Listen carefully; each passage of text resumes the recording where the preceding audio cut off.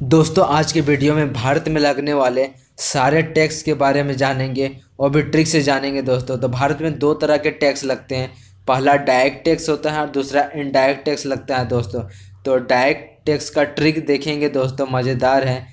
आराम से आपको याद कर सकते हैं दोस्तों, एक वेबसाइट की तरह। तो वेप्रो डॉट को इन तो यहाँ पे डब्ल्यू ई से आपका वेल्थ टैक्स हो जाएगा।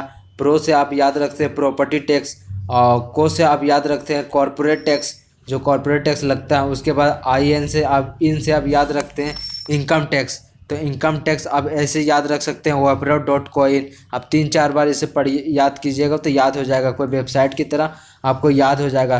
तो आगे हम लोग देखेंगे दोस्तों इनडायरेक्ट टैक्स के ट्रिक के बारे में।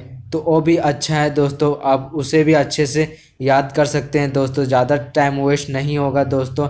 यहाँ पे आप देख सकते हैं डायरेक्ट टेस्ट का ट्रिक एक्सक्यूज मी हो जाएगा। तो ई एक्स से आप देख सकते हैं एक्साइज टेस्ट लगता है, जो उत्पाद वगैरह का जो टैक्स लगता है, वो हो गया। उसके बाद सी यू देख सकते हैं दोस्तों। सी यू से कस्टम टैक्स जो पोर्ट वगैरह में सामान को एक देश से दूसरे देश ले जाया जाता, वो कस्टम टैक्स लगता है।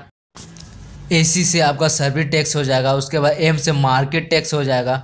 अब उसके बाद आप देख सकते हैं ई से इंटरटेनमेंट टैक्स वगैरह, जो मूवी वगैरह देखने जाते हैं तो हॉल वगैरह में लगता है, वो एंटरटेनमेंट टैक्स होता है दोस्तों। तो दोस्तों, हँसते रहिए और हंसाते रहिए। और डेली हमारा वीडियो सुबह छह से लेकर नौ बजे के बीच पाते रहिए। तो जय हिंद।